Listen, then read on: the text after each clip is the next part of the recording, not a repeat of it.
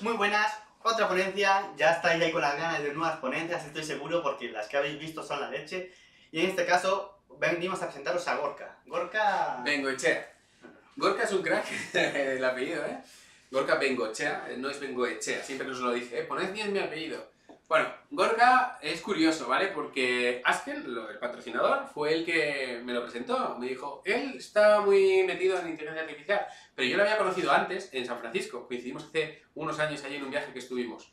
Y es un crack porque está muy, muy centrado en inteligencia artificial. Así que os dejamos con su ponencia, que fue muy divertida, por cierto. Sacó a gente al escenario y todo, y no voy a hacer spoiler, os dejo con ella.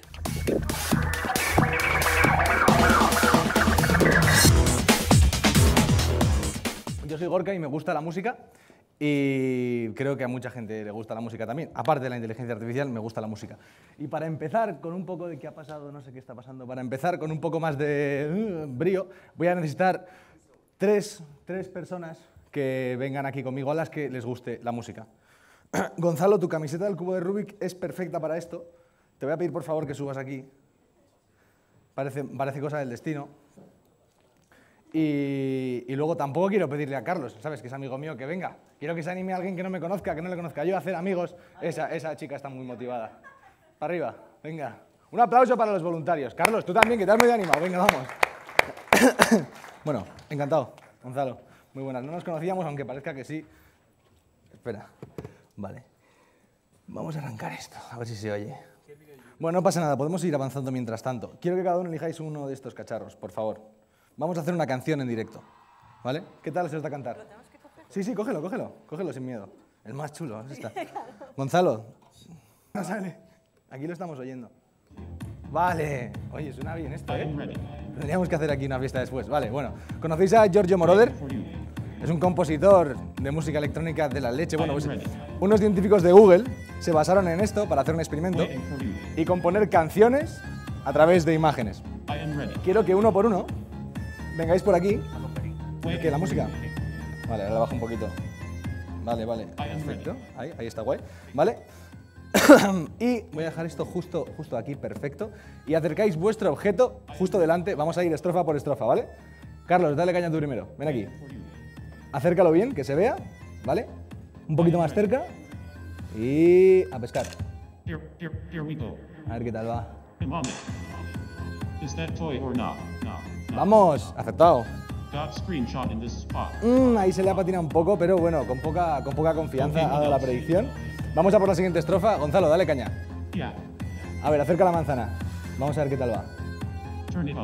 Acércala un poco así que se vea un poco el rabito. Para que se. que darle ahí. Ahí está, perfecto. Vamos a ver ahora. ¡Ah, no me haces caso! Espera. Ahora, ya te tengo. A ver si la pesca. I think Apple is what we've got. ¡Vamos! Un aplauso para Giorgio, joder. Está dando en el clavo. Vale, ponemos una furgoneta en la canción. Está sonando guay por ahora. Dale caña. Oh, right. A ver qué tenemos. Vale. Bien, bien, bien. Rima bien el tío, ¿eh? Nos queda una más. ¿Alguien quiere coger las flores? Dale, Carlos, acércalas. Sí, como Ahí está.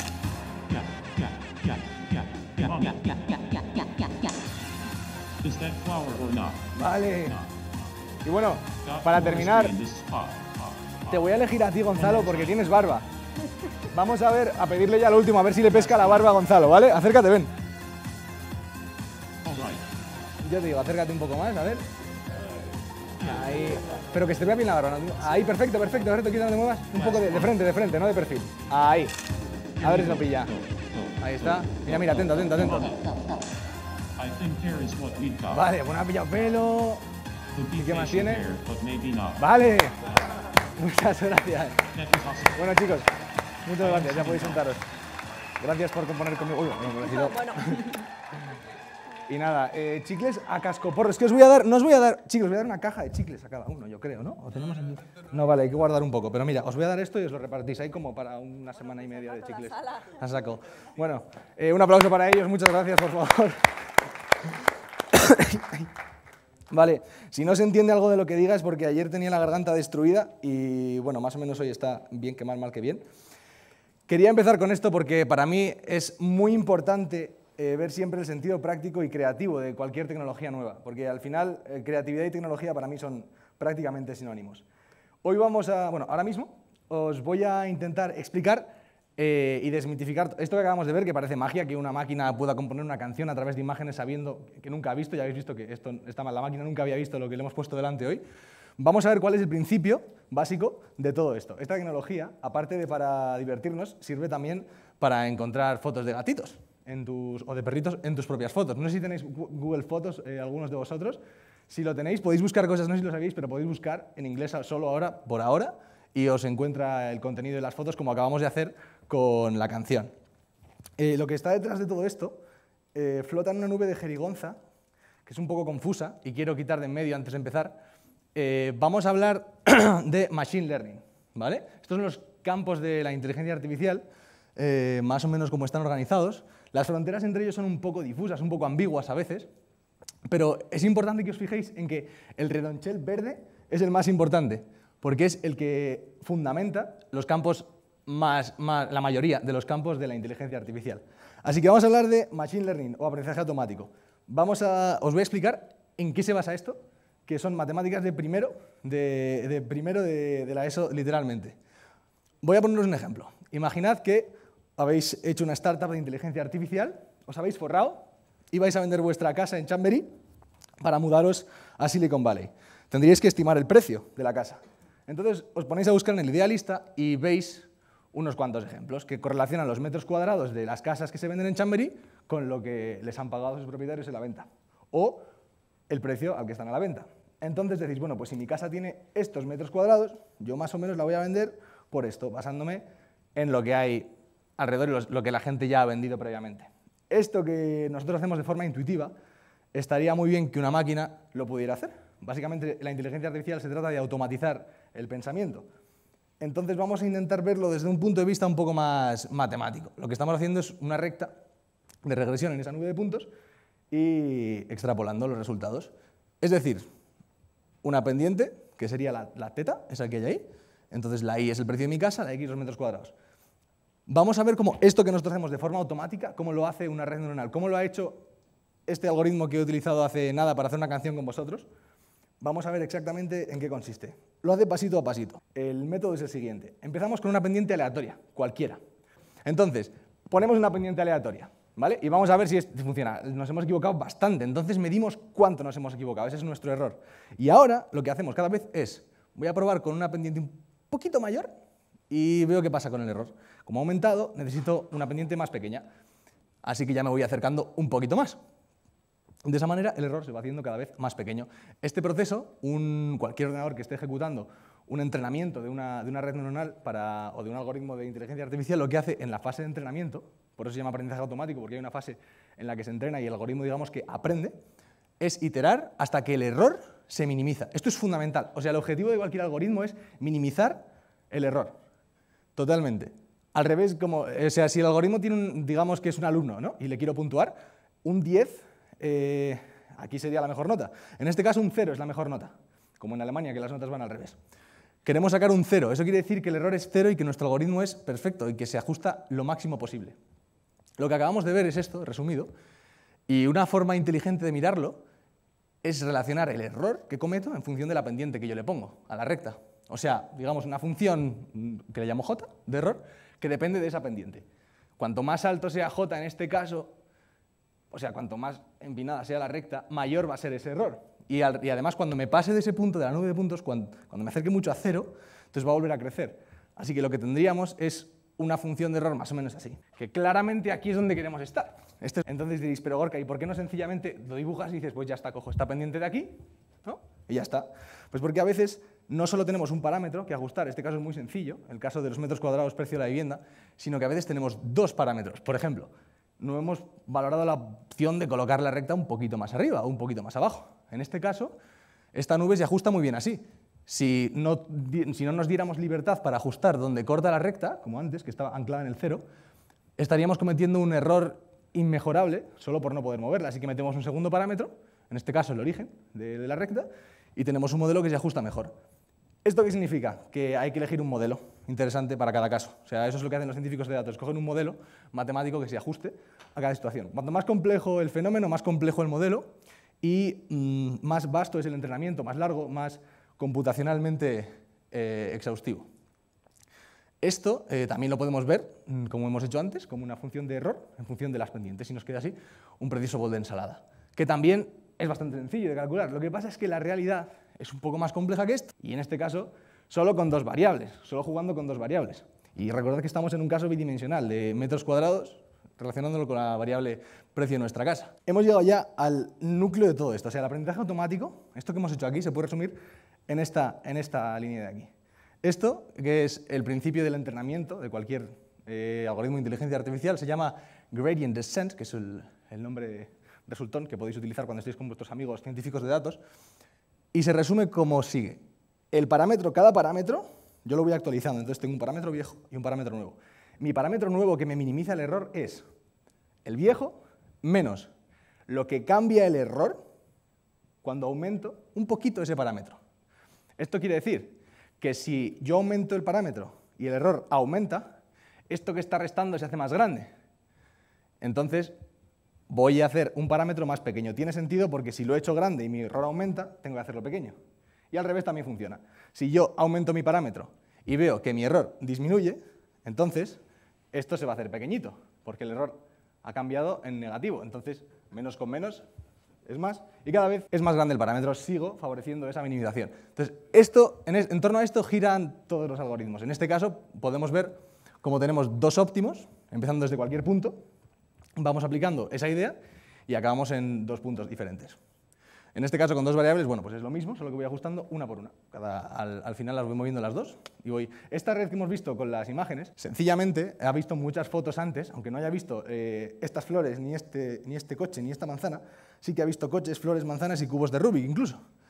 Y por eso eh, tiene una idea, un modelo ajustado, como hemos visto aquí, eh, de la realidad que permite, con ejemplos nuevos, como la casa nueva que hemos propuesto antes, dar una predicción razonable. O sea, esto es eh, la idea general que hay detrás de todo esto, que como podéis ver, con muchos más parámetros y, muchos, y algoritmos más complejos se complica, pero la esencia sigue siendo súper sencilla, como todo, eh, al fin y al cabo. Por ejemplo, esto es un Cristo que no te lo podrías ni tragar, pero no son más que parámetros. Son muchos parámetros que se multiplican por las variables que tengamos y se pueden ir ajustando uno por uno tranquilamente, le ponemos al ordenador a trabajar y lo hace. O sea, no hay que asustarse porque el problema sea muy complicado si al final el principio que aplicamos vale y sigue siendo el mismo. Y hasta aquí de, de batiburrillo matemático, ya está, hemos pasado la, la parte más, más, intensa.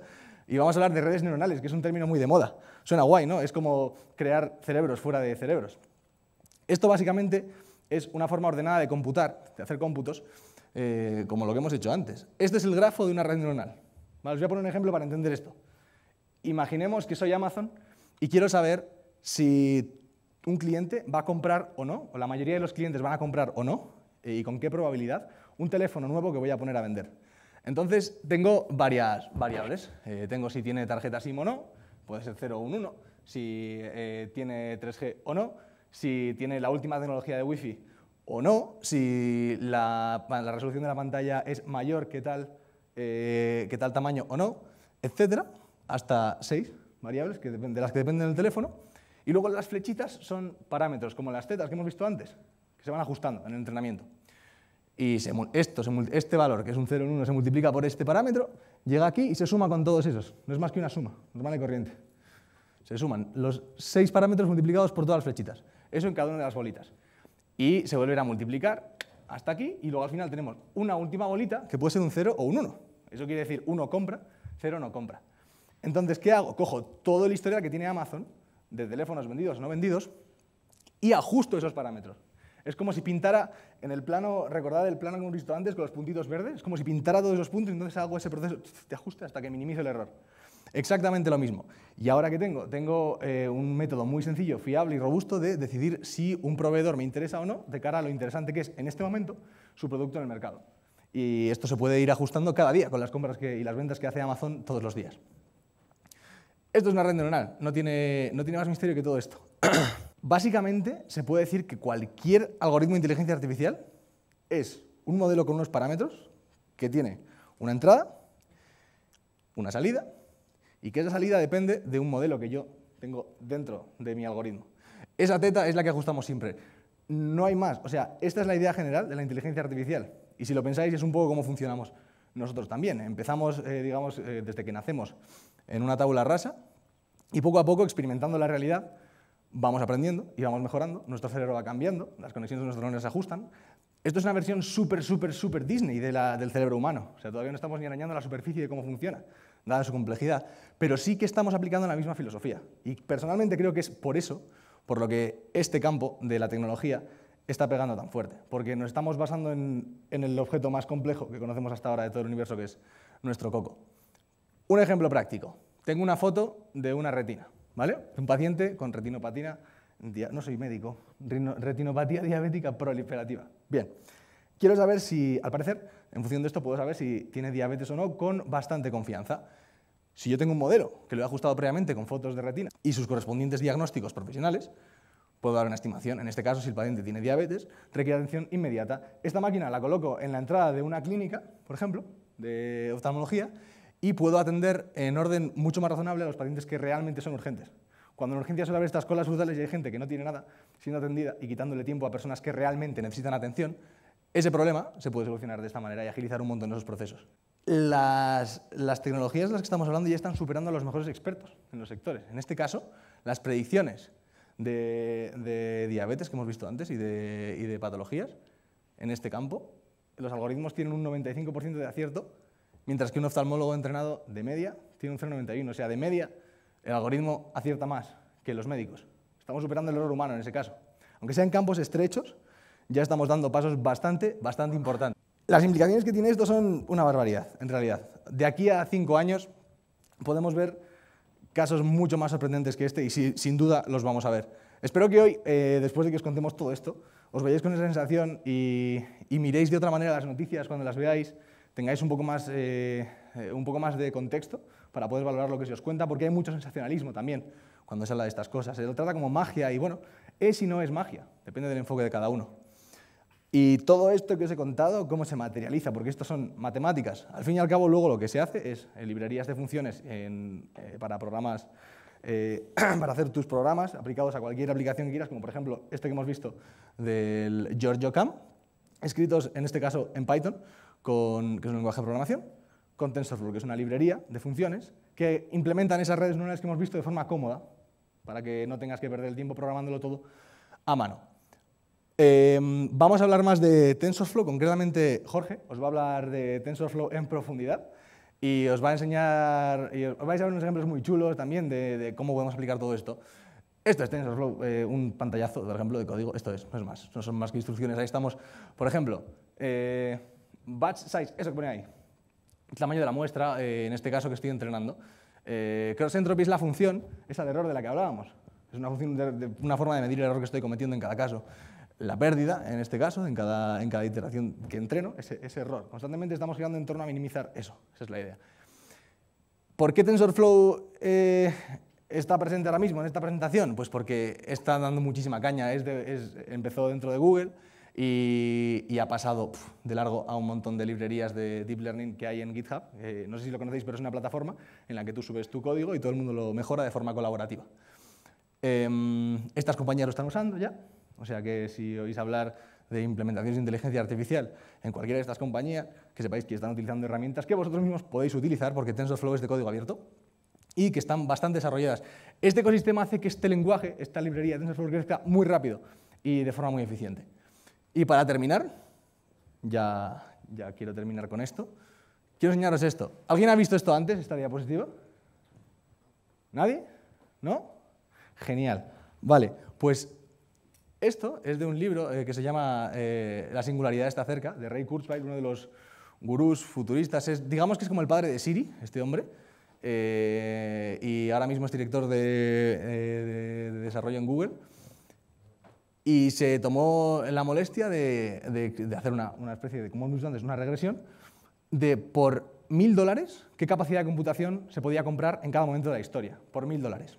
Mil dólares de valor actualizado, es decir, actualizando el valor de esos mil dólares a cada año para que la gráfica tenga sentido.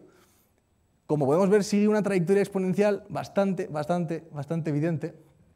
Esto es logarítmico, es decir, no vamos 10, 20, 30, sino que vamos en, en órdenes de magnitud, 10 elevado a, o sea que esto sería muchísimo más vertical.